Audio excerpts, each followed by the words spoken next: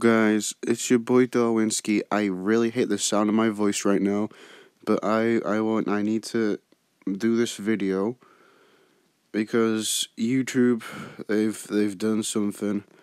They've they've fucked me over. I I'm glad I'm not monetized because this would be even bigger of a problem, but luckily I'm not. I don't give a shit about anybody on YouTube because like it's awful. So like I just make these videos for fun. So copyright claims, stuff like that, doesn't really bother me.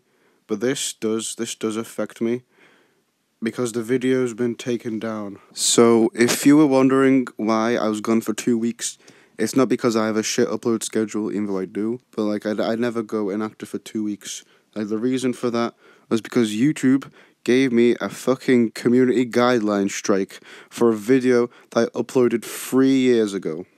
So, in case you weren't watching my channel three years ago, which you probably weren't, uh, I, I uploaded a video called Top 10 Saddest Anime Deaths. Then I made a sequel to it called Top 10 Most Soul Crushing Anime Deaths. You want to know why it has a guideline strike three fucking years after I upload it? Because apparently according to the YouTube bot that just randomly decided to select that video one day, apparently that video had children participating in dangerous acts. I mean, I thought that rule was reserved for those shitty TikTok trends where people light themselves on fire or like steal the sink or whatever. But apparently not. Apparently, a slowed down video of a baby making a funny face while getting baptized is like participating in dangerous acts. You know, young impressionable children might try doing that.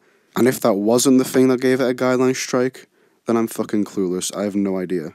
And if you don't know what I'm talking about, I mean this video, this one here with 35 million views, which is still up on YouTube, even though it's the exact same thing that I used in my video, and there's nothing wrong with it, but for some reason my one gets a guideline strike.